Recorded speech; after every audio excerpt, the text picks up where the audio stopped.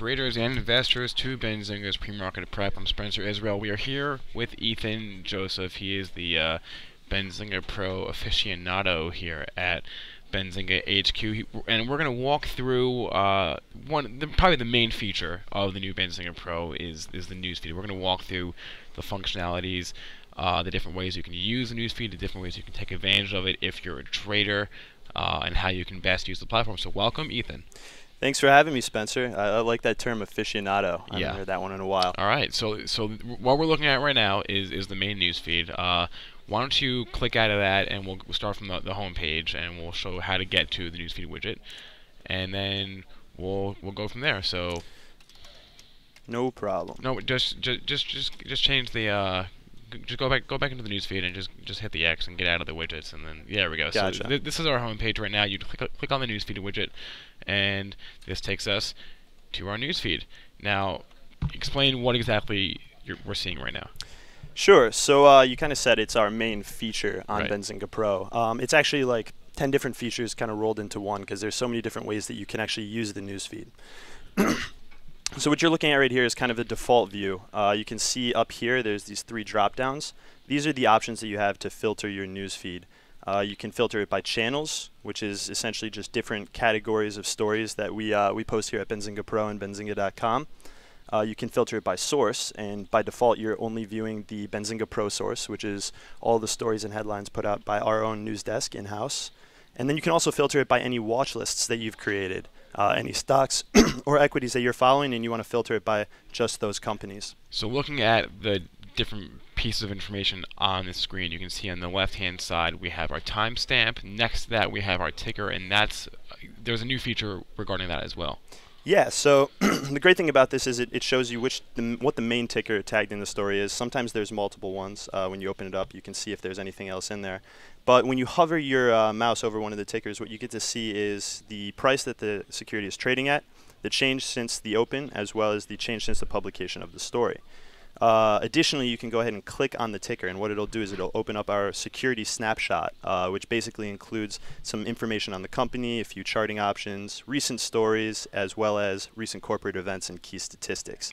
So this is great for me if I'm like, you know, not looking to go to something like Yahoo Finance or another website to pull up some of that information. So going back to the newsfeed, explain the difference. Uh, I know some headlines are bold, some are not. What's the difference there? Yeah, absolutely. The bolded headlines are stories that have uh, expanding capabilities. So this, for instance, there's a lot more content and color here provided by our analysts that uh, if you click on it, you can expand.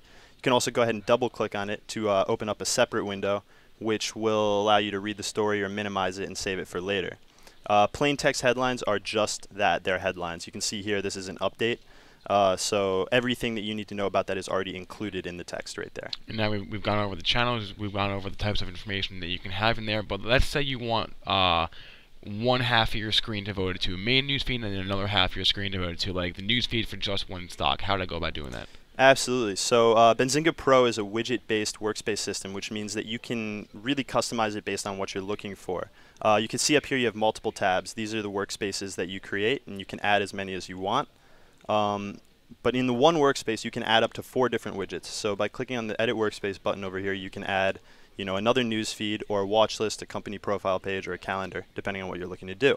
In this case, we're going to add another news feed because we want to do a split screen. Uh, now that we have the two news feeds open, I can go ahead and change this first one to you know only show me stocks in my you know test watch list there, and I can keep the other one fully functional here, or I can change it based on channel or source. Let's say I want to use it to browse some of the SEC filings, I might go ahead and do that over here as well. Uh, alternatively, I can change it by channel if I want to just look at something like analyst ratings. So it's really customizable in that sense. You can you can you can add another workspace uh, up here if you wanted to create a news feed um, you know, about something else, and, and you want to flip back and forth like tabs in Google right. Chrome. Totally up to you. Yep. Okay, now if if I'm looking at all the different channels and all the different sources, it's a lot of different types of headlines. How would I be able to differentiate what's what? Is there like a like a colorization or anything that we can do to sort of like make sure earnings like stick out to me? Like if I know if I if, without even reading it, I'll know by looking at it. You know, it's it's an earnings report. Yeah, absolutely. That's a great question. Um, one of the best ways to do that would be to just customize it by going into this uh, newsfeed widget settings, and you can open that up by clicking on this gear right here. Uh, and what you have the option to do is actually apply a different filter color to any one of our sources or any one of the channels that you want to filter by. So uh, you said earnings, so we've got earnings and guidance here. I can go ahead and change that color to you know pink and add the theme in there. And now anytime an earnings story comes through the feed, it's going to end up in that color. That's awesome. That's a great way for you to know with all the different channels. That you know, I think we have 21 different channels and and, and different sources. It's a great way for you to to know right off the bat, uh, be able to differentiate your earnings from your other types of sources. Uh, was there anything else you wanted to show, Ethan? I think we kind of covered the gamut in the newsfeed. Uh, if you do have any questions in the chat, feel free to uh, throw it along in there. But this Yeah. this has been a great uh, informative segment. Thanks for coming on the show. No problem. I, I can show you one more thing Yeah, before I it, get out it, of here. We got a, one more minute. Um, the last thing I'll kind of show you is the channels. Obviously, there's a lot in here. Um, you know, you, you know what you're looking for. These are very familiar to you. But down here we have, you know, uh, something that's pretty pretty special to Benzinga Pro, and that's our market moving exclusives channel. And this feed is, you know, completely original Benzinga Pro. These are stories that, you know, we're breaking here, uh, and we believe have, you know, the highest potential to move stocks and have been proven to move stocks in the past. So this is one of my favorite feeds to use. I know guys who are just, you know, looking at this filter alone and keep it minimized in a corner or something like that.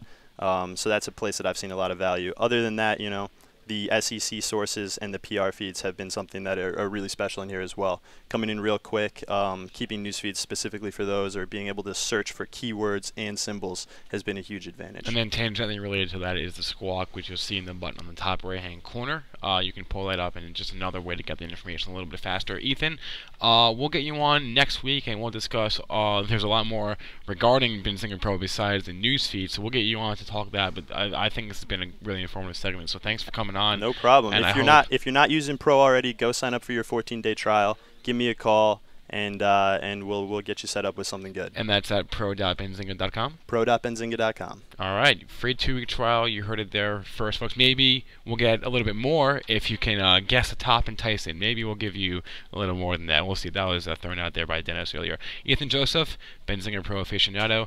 Thank you so much for coming on, folks. We'll be right back with Joel to wrap the show up.